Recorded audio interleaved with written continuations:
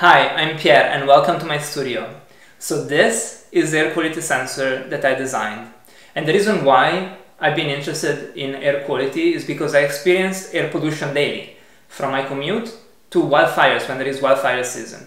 So I started to tinker with sensor modules and track the air inside my house. And by doing that, I realized that this sensor is becoming an essential tool to understand the health of my environment. So let me show you how it works. The air quality sensor mounts on the wall, as you can see here. You can tap to get the current air quality level.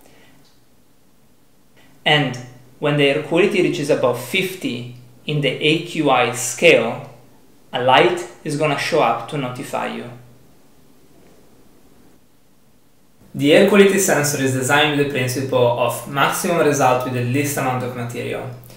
And as you can see, the sensor is really simple. It is composed of a sensor board and a sensor module that go together like this. To create insights over time, data can be stored on the onboard SD card. There are no servers on the cloud. Data is stored only locally to respect your privacy.